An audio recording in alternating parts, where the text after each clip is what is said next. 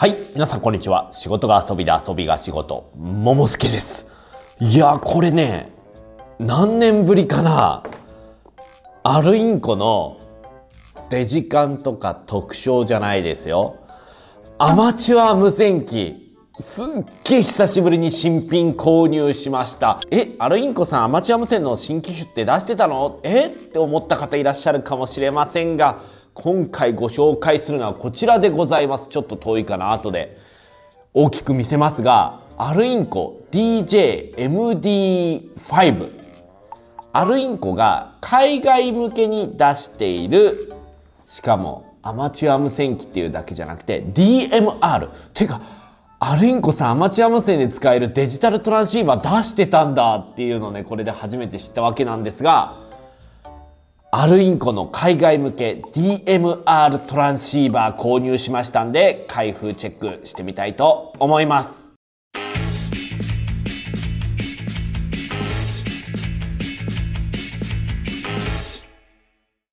はいこちらになります。アルインコ DJMD5DMR というロゴが誇らしげのデジタルトランシーバーです。VHF、UHF デュアルバンドデジタルトランシーバーということで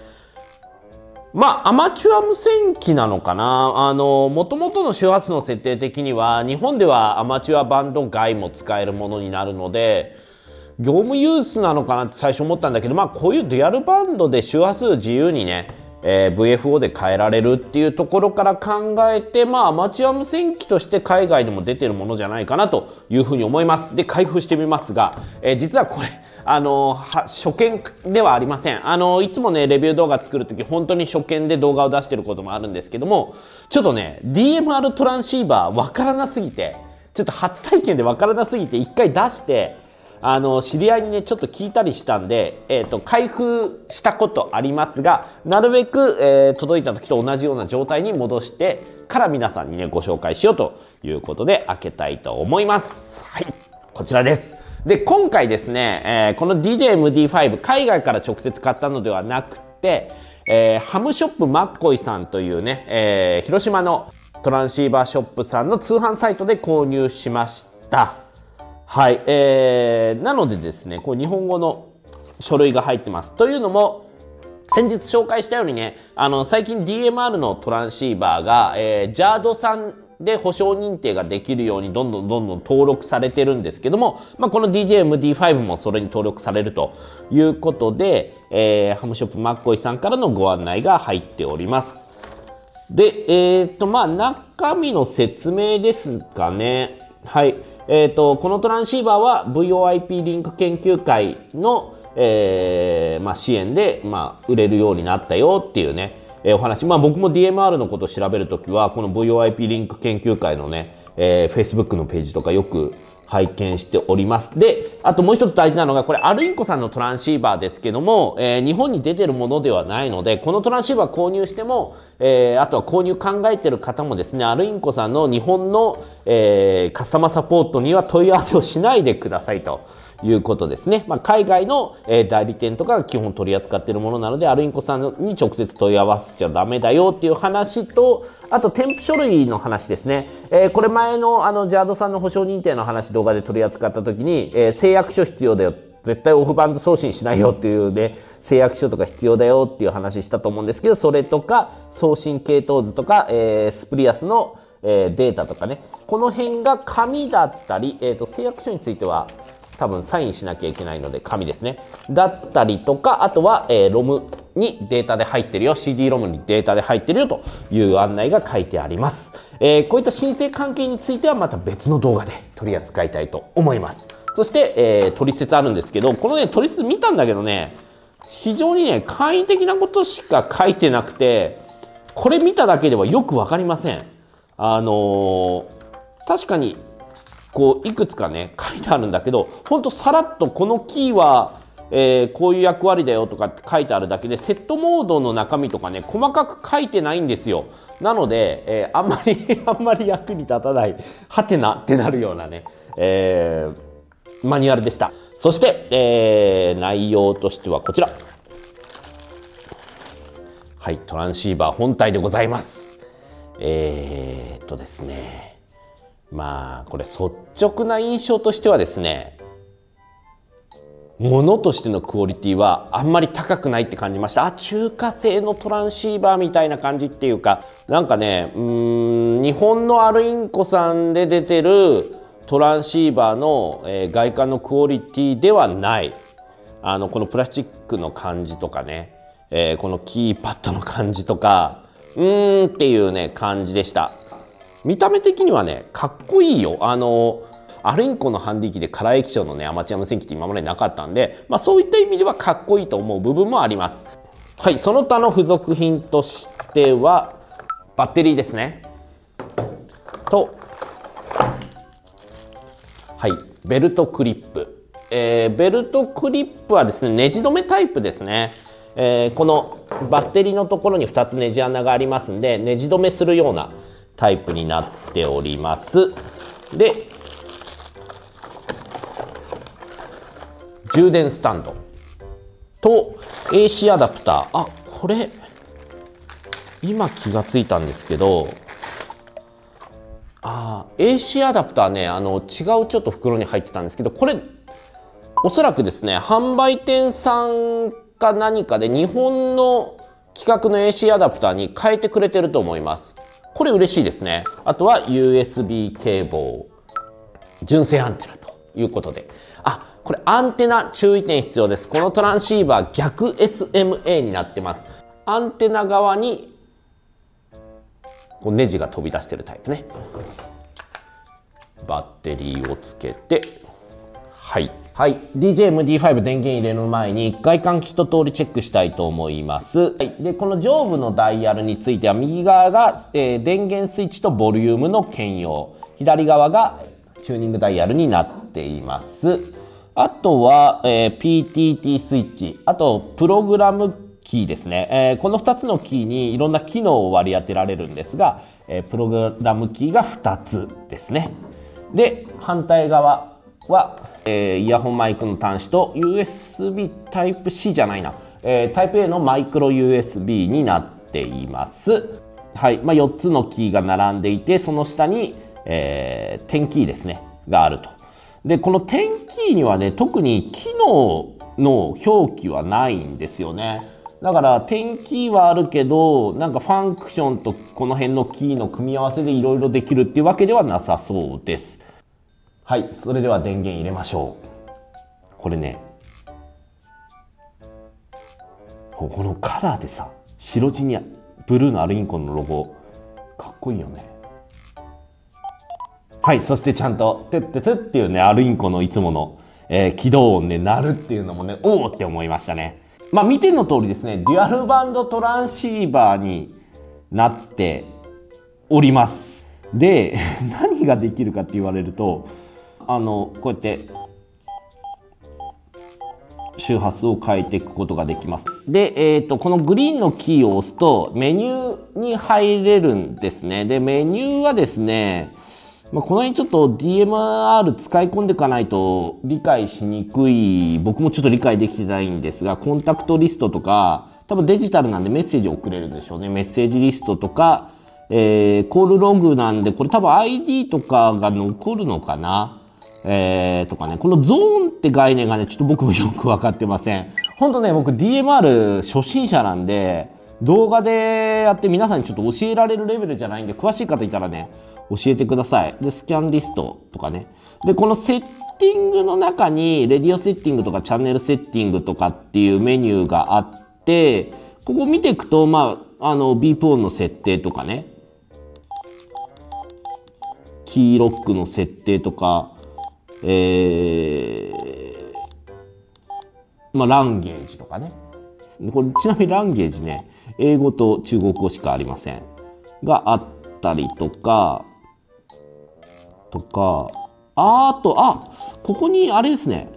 チュチューニングステップありますね。ああ、よかった。僕さっきちょっと、あの、か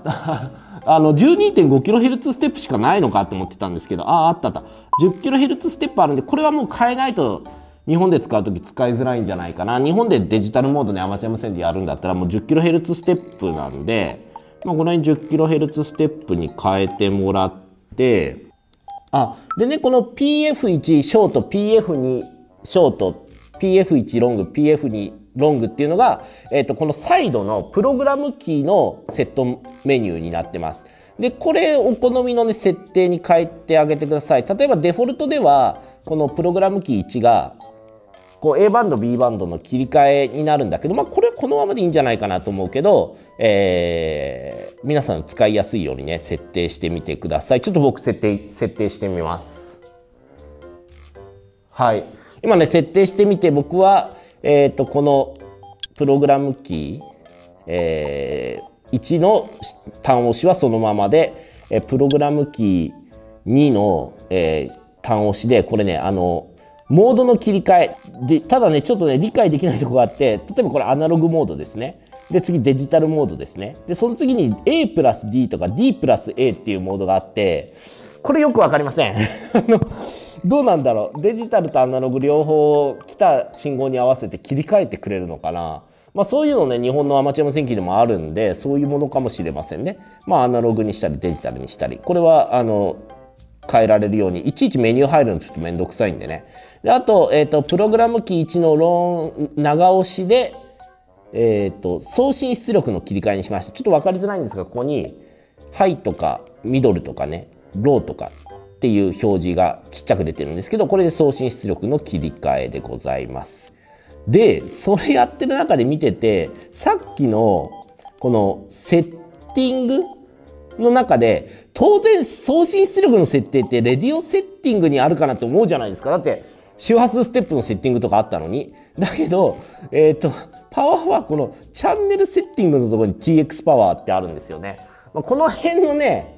なんかメニューの分け方はうんってなるところとかあるんですけどまあそこはちょっと高望みしちゃいけないかな、まあ、僕らとちょっとねあの使い方の感覚が違うっていうねことにしておきましょうか。はい。あとは、えー、もう PTT を押せば送信できるわけだし実際ね、あのちょっと話聞いてきたら、えー、デジピーターとかも